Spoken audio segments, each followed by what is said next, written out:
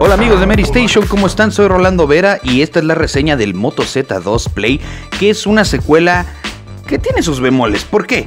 Porque el Moto Z Play era el teléfono de la gama media de Motorola que tenía más features, o sea, era lo más alto de la gama media el año pasado, y este año trata de entrar en la gama alta junto con el Moto Z Force, pero es un poco extraña esta entrada. Aquí lo que vemos es un diseño un poco más fancy, con acabados metálicos, más brillosos, y también que viene ya con Android 7.0.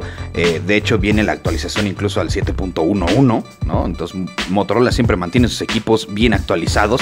Aquí vemos que lo único que le mete Motorola a Android son estos pequeños ademanes, como este muñequeo que activa la cámara y el caratazo que activa la, la luz, la lámpara que bueno, son muy útiles, pero que realmente no te cambian la experiencia de Android. También lo que vamos a ver es la navegación con un solo dedo a través del lector de huellas digitales. Aquí puedes mover hacia la izquierda para hacer back, hacia la derecha para hacer cambio de aplicaciones y presionar ligeramente el lector para mandarte como home.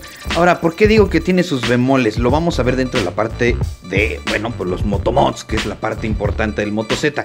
El del año pasado era un teléfono mucho más grueso. Esto era porque su batería era 3500 mAh y este año es solo de 3000. Y digo solo porque bueno, el año pasado te duraba hasta 3 días.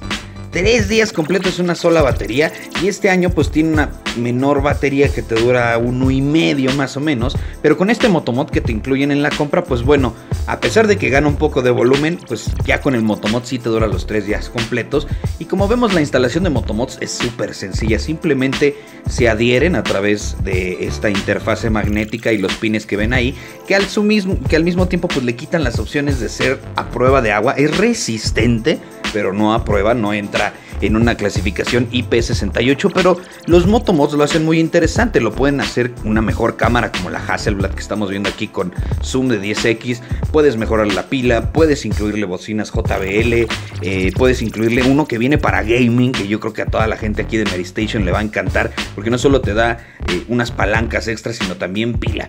Y bueno, como les decía, yo lo juzgo mucho porque tuve el del año pasado y estuve infatuado con el del año pasado, pero si es tu primera experiencia con moto y dentro de este segmento te va a gustar bastante y es por eso que le damos un 8.5 de calificación.